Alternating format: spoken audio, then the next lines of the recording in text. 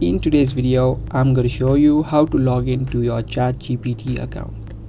Stick with me till the end and let's get right into it. Now you can use your ChatGPT from your desktop or from your mobile device. For this video, I'm going to show you through the mobile device. Now before you log into your account, make sure you download the application from the Play Store or the App Store. You simply search for OpenAI ChatGPT and you'll see this application and you can easily download it after the app has been downloaded you can open it up. Now from the home screen you will see a similar interface. Now all you need to do is tap on login or if you don't yet have an account you can also tap on sign up.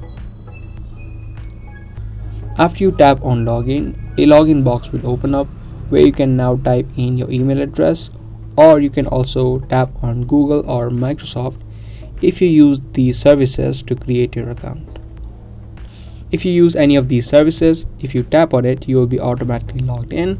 But if you use your email address, you type it in and confirm that you're not a robot. And then tap on continue. Next, type in the password that you created. If you don't remember your password, you can easily retrieve it by clicking on forgot password and then you'd be able to create a new one. Now after you fill in both these boxes, you can click on continue. And as easy as that, you have been now successfully logged in to your ChatGPT account. I hope this video was helpful to you. If it was, subscribe, share and give this video a thumbs up. I'll see you in the next one. Thanks for watching.